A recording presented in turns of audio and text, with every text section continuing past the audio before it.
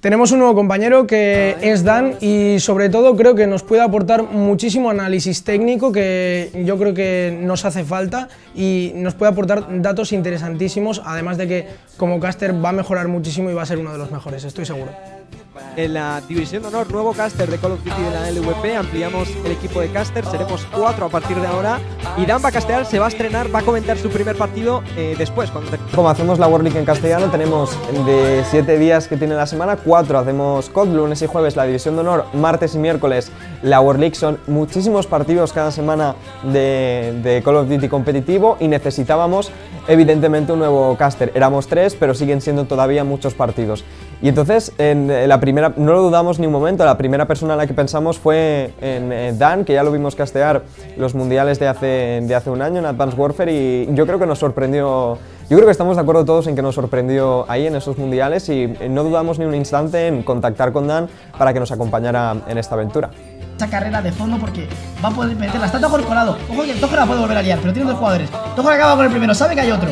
Saca la bandera. Una pena, acaba Karma con él. Va a poner la bandera para el marcador en un minuto 32. Mi primera experiencia en un plató ha sido mejor de lo que esperaba. Quizá me esperaba algo más nervioso. Eh, pero realmente trabajar con, con vosotros es, es, bastante fácil ya que lleváis mucho tiempo aquí y, y digamos que me lleváis las riendas, eh, pero creo que tengo que mejorar todavía mucho más, pero considero que puedo, puedo aportar muchas cosas.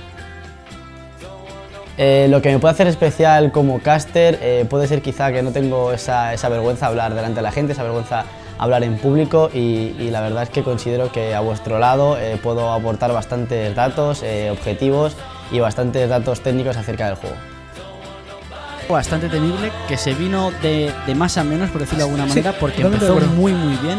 También tuvo que ver muchísimo el, el nerfeo de la, de la Vesper, porque eran cuatro jugadores que les encanta jugar con la Vesper y si podían jugar con la Vesper, la jugaban. Era eh, de mis compañeros quizá tengo que destacar, si lo, si lo tuviera que hacer uno a uno, eh, de Axel es quizá con el que más he trabajado y, y, sí que es verdad que se me hace muy cómodo trabajar con él porque me parece que, que me lleva muy bien a la hora de, de, bueno, a la hora de castear. Eh, con, con, Prieto eh, he casteado algo menos, ahora estoy casteando un poquito más y sí que es verdad que también me resulta muy sencillo porque también tienes la, tiene la facilidad de, de, eh, estar continuamente llevándote por, por, el camino del casteo y te hace sencillo entrar a, a, trabajar con él.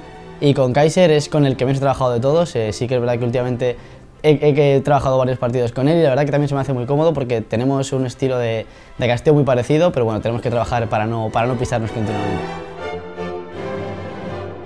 El partido de Jan fue algo muy especial eh, para mí, ya que bueno, eh, yo he estado dentro de lo que es ese equipo, son mis amigos, les conozco desde hace mucho tiempo y lo vi desde un punto de vista muy especial y la verdad es que me alegro muchísimo de que se hayan clasificado. También creo que es muy importante tener una representación española en, en la Code World League.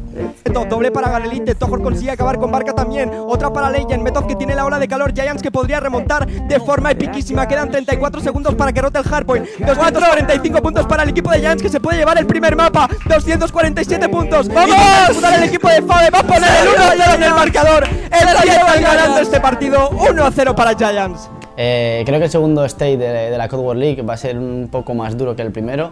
Hay equipos muy fuertes eh, y han subido equipos también bastante fuertes como, como Exertus, eh, pero también considero que el equipo de Giants ha, ha madurado muchísimo, ha mejorado y, y, le va a venir muy bien esta, esta relegation para darse cuenta de que tiene que empezar desde el principio eh, más, más enchufado y considero que puede quedar en media tabla, incluso llegar a playoffs.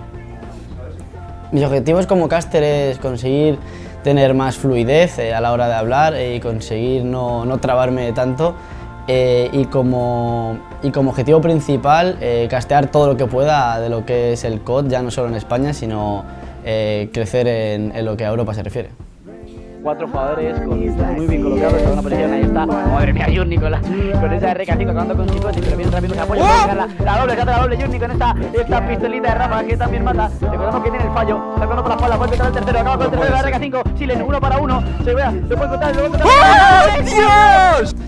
Soy Daniel García, más conocido como Dant, eh, soy el nuevo caster de la LVP, estaré con todos vosotros y mis compañeros en la División de Honor y en el State 2 de la Code World League. Y espero que disfrutéis junto a nosotros eh, del mejor COD en español.